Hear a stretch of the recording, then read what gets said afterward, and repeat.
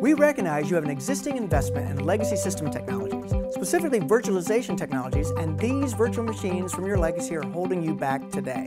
What we're going to do now is move those virtual machines in mass from the old world to the new world, the Red Hat way, and then we're going to do something very special with those capabilities and those virtual machines. So watch closely, you're about to see something very special.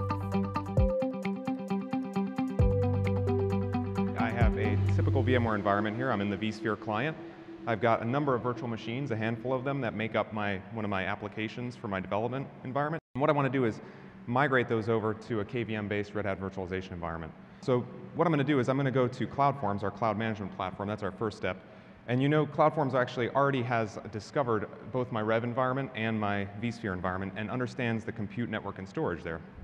So you'll notice one of the capabilities we built is this new capability called migrations. There's two steps I need to do. The first thing I need to do is start to create my infrastructure mappings. What this will allow me to do is map my compute network and storage between vSphere and Rev, so CloudForms understands how those relate. So let's go ahead and create an infrastructure mapping.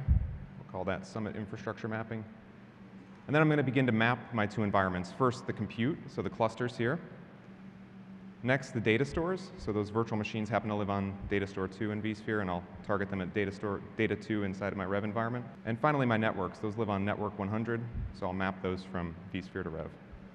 So once my infrastructure is mapped, the next step I need to do is actually begin to uh, create a plan to migrate those virtual machines. So I'll continue to the plan wizard here. I'll select the infrastructure mapping I just created, and I'll select migrate my development environment for my, those virtual machines to Rev. And then I need to import a CSV file. This CSV file is going to contain a list of all the virtual machines uh, that I want to migrate that were there. And that's it. Once I hit create, what's going to happen is CloudForms is going to begin in an automated fashion, shutting down those virtual machines, begin converting them, taking care of all the minutia that you'd have to do manually. And uh, now my VM has been moved over from VMware to Rev and is available for Itamar. So now we're about to containerize our application, taking just a component of that application, modernizing and bringing it into a true cloud-native architecture. Let's look at the OpenShift Service Catalog. We can see we have a new virtualization section here. We can import KVM or VMware virtual machines, or if they are already loaded, we can create new instances of them for the developer to work with.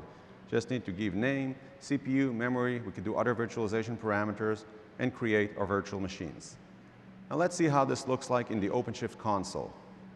Since we know this container is actually a virtual machine, we can do virtual machine stuff with it, like shut down, reboot, or open a remote desktop session to it. But we can also see this is just a container like any other container in OpenShift. And even though the web application is running inside a Windows virtual machine, the developer can still use OpenShift mechanisms like services and routes. But we're not done. We want to containerize our application. We see we have here Visual Studio and an ASP.NET application. We'll go back to the OpenShift Service Catalog. This time we'll go to the database section. And just as easily, we'll create a SQL Server container. Just need to accept the EULA, provide password, choose the edition we want, and create a database. And again, we can see the SQL Server is just another container running on OpenShift. If we take a look under the hood, we can use the Kubernetes commands to see the list of our containers. In this case, the SQL Server and the virtual machine containers. But since KubeVirt is a Kubernetes operator, we can actually use Kubernetes commands like kubectl to list our virtual machines and manage our virtual machines like any other entity in Kubernetes.